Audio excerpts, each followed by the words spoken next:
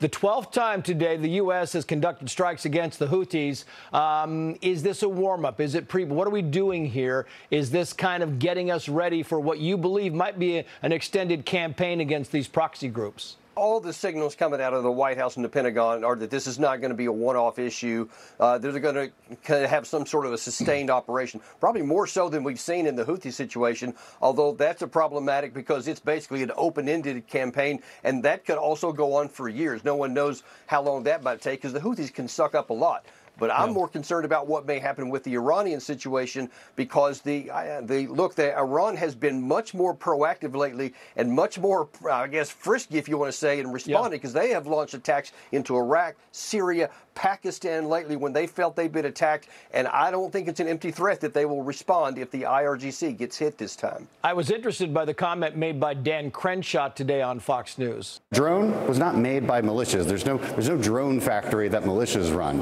It's an Iranian-made drone, and then the militias didn't steal it from Iran either. Iran gave it to them for the purpose of using against their enemies, which is us he's indicating that, you know what, maybe it's time to go in after Iran and attack something that belongs to them. Do you think that might be part of the strategy?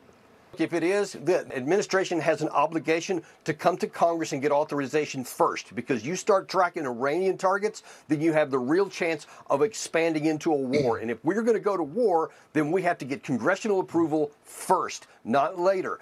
The president has the authority because American troops have been killed to go after the perpetrators, people who did it, not just because there may be second and third order support later yeah. on. That requires something different. And we cannot get into a war. I cannot stress how bad that would be for us. The, the Hill writes the following here, Colonel. Uh, are U.S. Iran already at war? Going on to say, while there has been no direct fighting between American troops and Iranian fighters, the U.S. says Iran is broadly complicit for supporting its proxies, and Iran is being pulled into the conflict more directly as well. Is it your assessment, Colonel, that Iran has both the capability and the desire, if for some reason the United States struck at them, to actually strike back and make this a bigger conflict?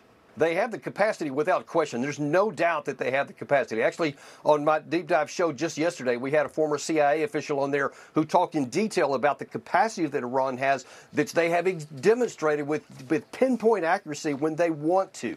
And yeah. so they've withheld some of their best stuff so far. So if we get into a fight, it could get ugly.